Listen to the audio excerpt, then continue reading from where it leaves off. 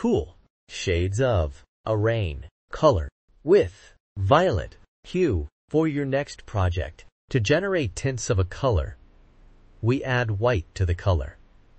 And tints creates light and exquisite emotions.